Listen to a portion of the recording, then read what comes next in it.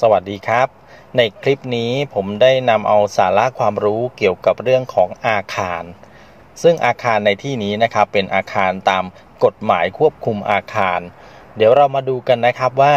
ตามกฎหมายแล้วเนี่ยอาคารนั้นเขาหมายถึงอะไรนะครับ อะไรบ้างที่เป็นอาคารนะครับ อาคารประเภทต่างๆ มีอะไรบ้าง รวมถึงสิ่งต่างๆ ที่เขาสร้างขึ้นอย่างอื่นนะครับ แล้วก็ถือว่าเป็นอาคารด้วย และอาคารที่เป็นอาคารควบคุมในเรื่องของการใช้อาคารเนี่ยมีลักษณะอย่างไรนะครับ รวมถึงอาคารที่ได้รับการยกเว้นไม่ต้องขออนุญาตตามกฎหมายเนี่ยมีอาคารประเภทใดบ้างนะครับสำหรับในเรื่องนี้นะครับ ในคู่มือปฏิบัติในเรื่องของการควบคุมอาคารสำหรับประชาชนนะครับ เขาได้ให้ความหมายของอาคารเอาไว้นะครับว่า อาคารในที่นี้นะครับ ก็หมายถึงตึกนะครับ เป็นตึกเป็นบ้าน เรือน โรง ร้าน แพร คลังสินค้าสำนักงาน และสิ่งที่สร้างขึ้นอย่างอื่น ซึ่งบุคคลอาจเข้าอยู่หรือเข้าใช้สอยได้ ทั้งหมดนี้นะครับ ก็คือโดยหลักแล้วเนี่ยสร้างขึ้นโดยที่บุคคลอาจจะเข้าไปอยู่ หรือเข้าไปใช้สอยไปใช้ประโยชน์ได้นั่นเองอหมายถึงอาคารนะครับ ทีนี้เรามาดูตัวอย่างกันนะนิดหนึ่งนะครับ ตัวอย่างเช่น อัฐจันทร์นะครับ อัฐจันทร์เนี่ยหรือสิ่งที่สร้างขึ้นอย่างอื่น เพื่อให้เป็นที่ชุมนุมของประชาชน ก็ถือว่าเป็นอาคารนะครับเขื่อนสะพาน อุโมงค์ทางหรือท่อระบายน้ำอู่เรือ คานเรือ ท่าน้ำท่าจอดรถรั้วกำแพง หรือประตูที่สร้างขึ้นติดต่อหรือใกล้เคียงกับที่สาธารณะ หรือสิ่งที่สร้างขึ้นให้บุคคลทั่วไปใช้สอย ก็ถือว่าเป็นอาคารด้วยนะครับ ทั้งหมดเลยนะครับ พื้นที่หรือสิ่งที่สร้างขึ้นเพื่อใช้เป็นที่จอดรถ ที่กลับรถ และทางเข้าออกของรถสำหรับอาคารที่กำหนดให้มีที่จอดรถ ก็ถือเป็นความหมายของคำว่าอาคารตามกฎหมายด้วยนะครับ ตรงนี้นะครับเป็นไปตามมาตรา 4 ของพระราชบัญญัติควบคุมอาคาร พุทธศักราช 2522 นะครับ ต่อมานะครับ ป้ายป้ายเป็นอาคารหรือไม่นะครับ ถ้าป้ายหรือสิ่งที่สร้างขึ้นสำหรับติดตั้งป้ายที่มีที่ติดหรือตั้งเอาไว้ในระยะห่างจากที่สาธารณะ ซึ่งเมื่อวัดทางลาบแล้วระยะห่างจากที่สาธารณะ มีค่าน้อยกว่าความสูงของป้ายนั้น เมื่อวัดจากพื้นดิน และมีขนาดความกว้างของป้ายเนี่ยเกิน 50เซนติเมตรหรือยาวเกิน 1 เมตร หรือเนื้อที่ของป้ายในเกิน 5,000 ตารางเซนติเมตร หรือมีน้ำหนักของป้าย หรือสิ่งที่สร้างขึ้นสำหรับติดหรือตั้งป้ายอย่างใดอย่างหนึ่ง หรือทั้งสองอย่างรวมกันเกิน 10 กิโลเมตรเกิน 10 กิโลกรัมนะครับขออภัยครับ เกิน 10 กิโลกรัมเนี่ยก็ถือว่าเป็นอาคารนะครับ ตรงนี้ก็เป็นไปตามมาตรา 4 แห่งพระราชบัญญัติควบคุมอาคาร พุทธศักราช 2522 ประกอบกับกฎกระทรวงว่าด้วยการควบคุมป้าย หรือสิ่งที่สร้างขึ้นสำหรับติดหรือตั้งป้าย ตามกฎหมายว่าด้วยการควบคุมอาคาร พุทธศักราช 2558 นะครับ ต่อมาเรามาดูอาคารประเภทต่างๆนะครับ อาคารประเภทต่างๆ มีประเภทใดบ้าง และเข้าหมายความว่าอย่างไรนะครับ ประเภทแรกก่อนนะครับก็คือห้องแถว ห้องแถวนั้นหมายความว่า อาคารที่ก่อสร้างติดต่อกันเป็นแถวยาว ตั้งแต่สองคูหาขึ้นไป มีผนังร่วมแบ่งอาคารเป็นคูหา และประกอบไปด้วยวัสดุไม่ทนไฟเป็นส่วนใหญ่นะครับนี่คืออาคารประเภทห้องแถวนะครับ ต่อมาตึกแถวก็หมายความว่าอาคารที่สร้างติดต่อกันเป็นแถวยาว ตั้งแต่สองคูหาขึ้นไป มีผนังร่วมแบ่งเป็นแบ่งอาคารเป็นคูหา และประกอบด้วยวัสดุทนไฟเป็นส่วนใหญ่ ต่อมาความคำว่าบ้านแถวนะครับ บ้านแถวนั้นก็หมายความว่าห้องแถว ห้องแถวหรือตึกแถวที่ใช้เป็นที่อยู่อาศัย ซึ่งมีที่ว่างด้านหน้าและด้านหลัง ระหว่างรั้ว หรือแนวเขตที่ดิน กับตัวอาคารแต่ละคูหานะครับ ต่อมาคำว่าบ้านแฝดนะครับ บ้านแฝดนั้นหมายความว่าอาคารที่ใช้เป็นที่อยู่อาศัย โดยสร้างติดต่อกันสองบ้าน มีผนังร่วมแบ่งอาคารเป็นบ้าน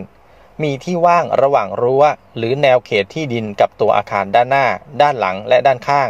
ของแต่ละบ้าน และมีทางเข้าออกของแต่ละบ้านแยกจากกันเป็นสัดส่วน นี่คือความหมายของคำว่าบ้านแฝดนะครับ ต่อมาอาคารอยู่อาศัย อาคารอยู่อาศัยหมายความว่าอาคารซึ่งโดยปกติแล้วบุคคลใช้อยู่อาศัยได้ ทั้งกลางวันและกลางคืน ไม่ว่าจะ เป็นการอยู่อาศัยอย่างถาวรหรือชั่วคราวก็ตาม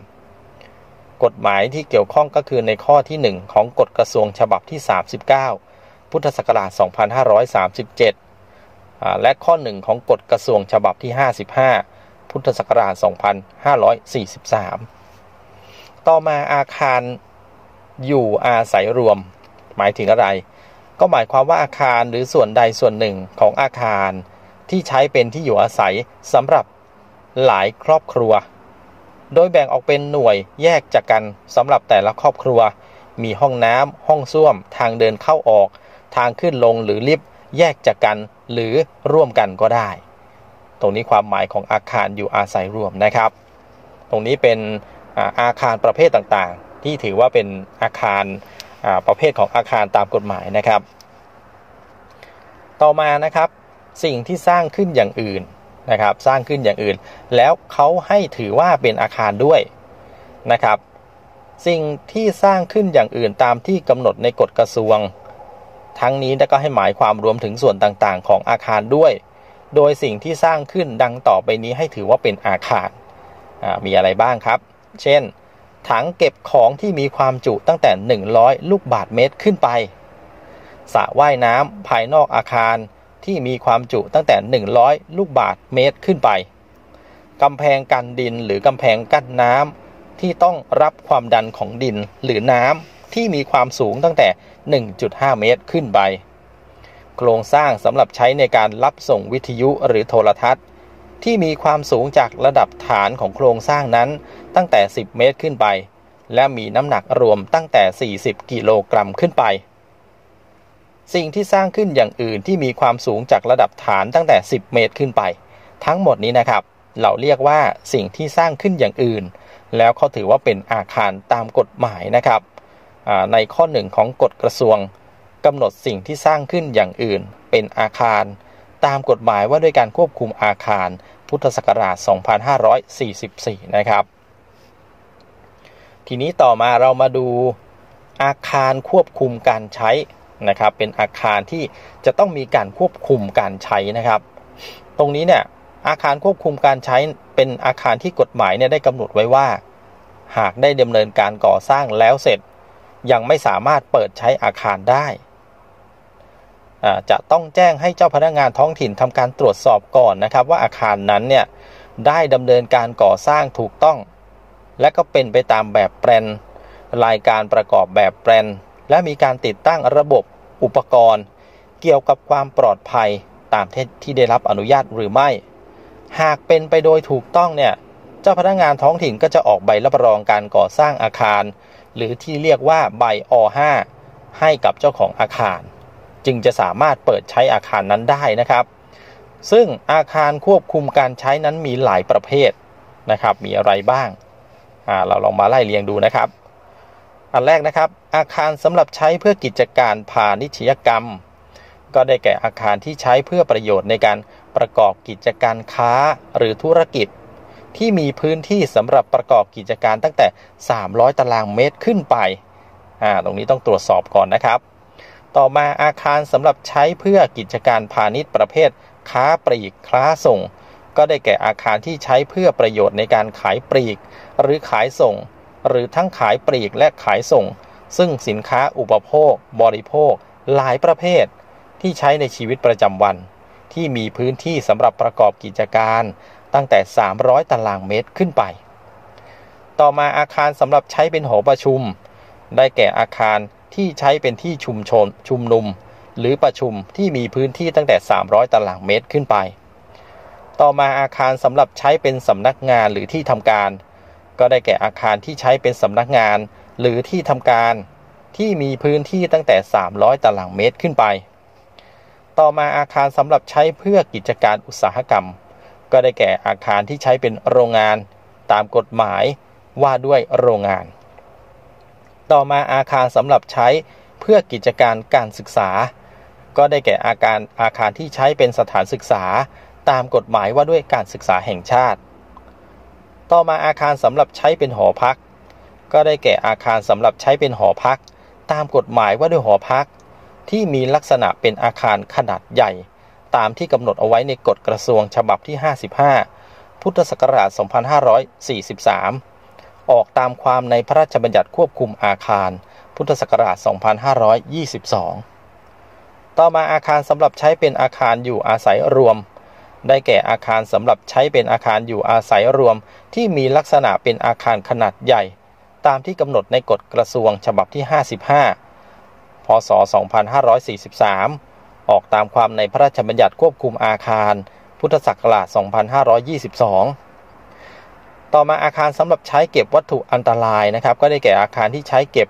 วัตถุอันตรายตามกฎหมายว่าด้วยวัตถุอันตรายนะครับ ตรงนี้ก็เป็นไปตามกฎหมาย ในกฎกระทรวงข้อ 3 ถึงข้อ 11 นะครับกฎกระทรวงกำหนดอาคารประเภทควบคุมการใช้พุทธศักราช 2552 นะครับ เป็นประเภทที่จะต้องควบคุมการใช้นั่นเอง จะต้องตรวจสอบจากเจ้าพนักงงานท้องถิ่นเสียก่อนนะครับ ทีนี้ต่อมาเรามาดูอาคารที่ใช้อาคารที่ได้รับการยกเว้นไม่ต้องขออนุญาต มีอะไรบ้างครับอาคารที่ไม่ต้องขออนุญาตตามกฎหมายนะครับ ประเภทแรกนะครับ อาคารของกระทรวงทบวงกรมที่ใช้ในราชการ หรือใช้เพื่อสาธารณประโยชน์ นี่เป็นต้องขอไม่ต้องขออนุญาตนะครับ อาคารส่วนราชการท้องถิ่นที่ใช้ในราชการ หรือใช้เพื่อสาธารณประโยชน์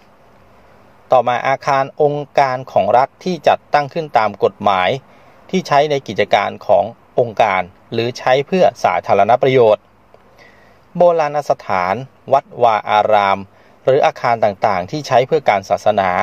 ที่มีกฎหมายควบคุมการก่อสร้างเฉพาะ ปัจจุบันเนี่ยไม่มีกฎหมายดังกล่าว จึงยังไม่ได้รับการยกเว้น การก่อสร้างต้องขออนุญาตตามปกติ เช่นเดียวกับอาคารอื่นๆนะครับ เพราะฉะนั้นเนี่ยโบราณสถาน วัดวาอาราม อาคารต่างๆ ที่ใช้ในการศาสนาเนี่ยปัจจุบันยังไม่มีกฎหมายเฉพาะนะครับ เพราะฉะนั้นก็จะต้องขออนุญาตก่อนนะครับ ต่อมาอาคารที่ทำการขององค์การระหว่างประเทศ หรืออาคารที่ทำการของหน่วยงานที่ตั้งขึ้น ตามความตกลงระหว่างรัฐบาลไทยกับรัฐบาลต่างประเทศ ต่อมาอาคารที่ทำการสถานทูตหรือสถานกงสุลต่างประเทศ อาคารเพื่อใช้ประโยชน์ต่อส่วนรวมในหน้าที่ของของทางราชการ กิจการสาธารณกุศล หรือเพื่อสาธารณประโยชน์เป็นการชั่วคราว และมีการกำหนดเวลาหรือถอน ซึ่งจัดทำหรือควบคุมโดยทางราชการ องค์การ หรือกิจการสาธารณกุศล ให้ได้รับการยกเว้นไม่ต้องขออนุญาตนะครับ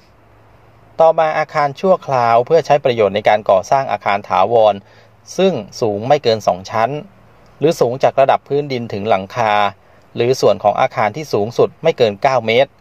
และมีกำหนดเวลาหรือถอนเมื่ออาคารถาวรแล้วเสร็จ ก็ให้ได้รับการยกเว้นไม่ต้องขออนุญาตหรือถอนอาคารนะครับ ต่อมาอาคารที่มีลักษณะเป็นเต็นท์หรือประหรือประลำชั้นเดียว เพื่อใช้ประโยชน์เป็นการชั่วคราว แล้วก็ไม่ใช่อาคารสำหรับใช้เพื่อกิจการพาณิชยกรรม อุตสาหกรรม หรือการศึกษา โดยมีกำหนดเวลาหรือถอนไม่เกิน 10 วัน ก็ให้ได้รับการยกเว้นไม่ต้องขออนุญาต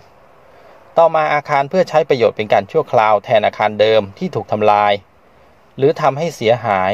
เนื่องจากภัยธรรมชาติ หรือเพลิงไหม้ สูงไม่เกิน 2 ชั้น หรือสูงจากระดับพื้นดินถึงหลังคา หรือส่วนของอาคารที่สูงที่สุดไม่เกิน 9 เมตร และไม่ใช่อาคารสาธารณะ อาคารพิเศษ หรืออาคารประเภทควบคุมการใช้ โดยมีกำหนดเวลาหรือถอนไม่เกิน 1 ปี ก็ให้ได้รับการยกเว้นไม่ต้องขออนุญาตหรือถอนอาคารนะครับ ตรงนี้ก็เป็นไปตามกฎกระทรวงว่าด้วยการยกเว้น การผ่อนผัน หรือกำหนดเงื่อนไขในการปฏิบัติตามกฎหมายว่าด้วยการควบคุมอาคาร พุทธศักราช 2550 นั่นเองนะครับ และทั้งหมดนี้นะครับคุณผู้ชมก็คือประเภทของอาคารที่เป็นไปตามกฎหมายควบคุมอาคารนั่นเองนะครับ